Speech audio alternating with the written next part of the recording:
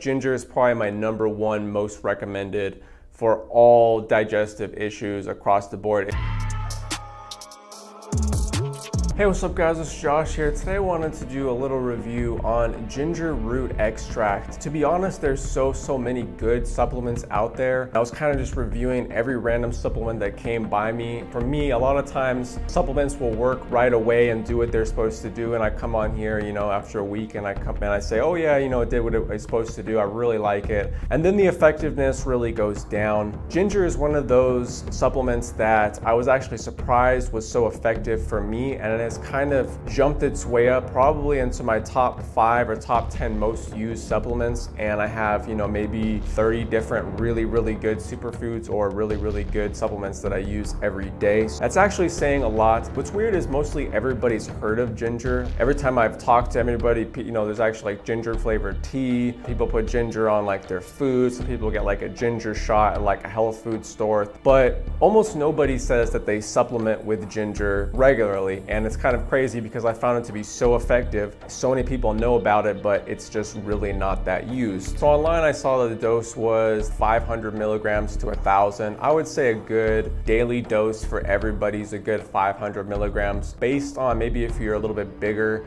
if you have a little bit more issues that ginger can help, then you take a little more. Personally, I take in between 500 to about 1500 to 2000-ish. I have these 750 milligram capsules and I capsule them myself. Usually when I need to go hard on the ginger, I go about three in the morning and I'll do that daily until things just clear themselves up. Ginger is very spicy and sweet. It's been used as a spice for a long, long time. And there's also like a hundred different kinds of ginger. So I have ordered ginger and I've gotten powder and it is a little bit different, but overall it is pretty much the same. The ginger I have right now, it is a little bit sweeter and a little bit less spicy than the last batch that I got. But so let's go over what they claim ginger can do online. I think there's actually more benefits than this. These are the ones that came up really, really easy with the Google search. And I'm actually surprised that there's a lot of data behind some of the things that ginger is supposed to help. A lot of times, you know, people will say that it does help. And maybe in other countries, people have said that it's helped for a long time. But over here, there's been like no tests done. There's actually been quite a bit of of tests on ginger. It improves brain function, it protects against Alzheimer's, it lowers cholesterol, it contains a substance that may prevent cancer, it fights infections, it helps nausea slash morning sickness, it helps weight loss, osteoporosis, drastically lowers blood sugars, improves heart disease, risk factors, can treat indigestion, significantly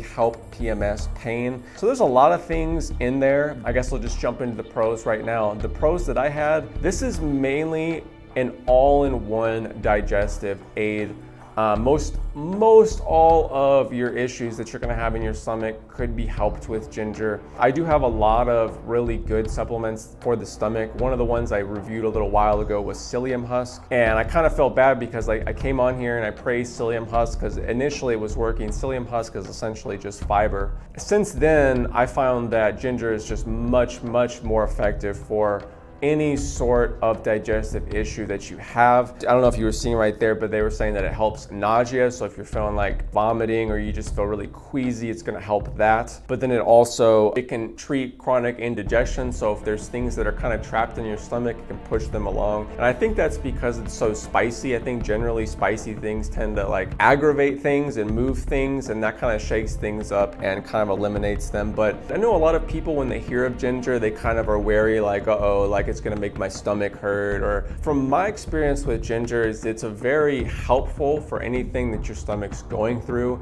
If you have some bad stuff in your stomach and some stuff that really needs to be eliminated, but you know you're going, you have a lot going on in life, the ginger may push that out. But then there's been several times where my stomach's just not feeling so strong. Maybe I ate really late or I had just some cheap like sweets or something in the morning. I take this and my stomach just feels stronger. Most of the time I feel that strength and if I do feel anything in my stomach, it's because something needed to happen anyway. So it's very rare that I have like a painful issue with ginger. And then also I have to double check this, but the testosterone benefits, I'm pretty sure I Googled ginger and testosterone and there was supposed to be some benefits, supposed to be some increase in testosterone. And then I believe I Googled turmeric and testosterone and turmeric didn't have any benefits for testosterone So I was kind of shocked by that because most people go for the turmeric. It seems like more exotic than ginger. You know, I, everyone's heard of ginger. Oh, turmeric, and then it's orange. You know, so I think for certain people, include myself included, I just love it way more than turmeric. Although I like turmeric and I could take turmeric all the time, I get much more benefits taking ginger. And then some joint benefits. I do feel some joint help with this. I know that turmeric is good for that as well. Let's go into the cons of this supplement. The cons, I really don't have too many. Um, Um, it's spicy, so if you mix it in like a shake and you want to put a lot of ginger in there, it might be like spicy, which is kind of weird when you're thinking about like a fruity mix of good supplements. It's weird that it's hot and spicy.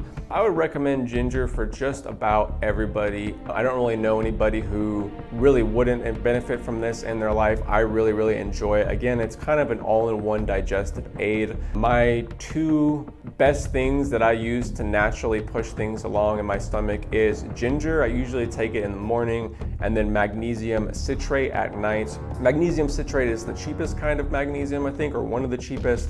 And then it has kind of like a laxative effect. That's why I take it. Puts more water into your stomach, so it passes things through. But psyllium husk just has, it's just fiber. It does push things along, but it's not like the ginger where you're getting a lot of other benefits while you're taking something to just fix your stomach. So ginger is probably my number one most recommended for all digestive issues across the board. My personal favorite, again, I go for about anywhere from 500 to 2000 milligrams based on what I need. People afraid that it's gonna make your stomach hurt. It might make your stomach feel a lot better. I mean, that's what it does for me most of the time, but we're on the road to 50,000 subscribers and I couldn't do without any of you guys' help. You guys are the best. I'm having a great day out here. Hopefully having a great day at home. See you all in the next video. Peace.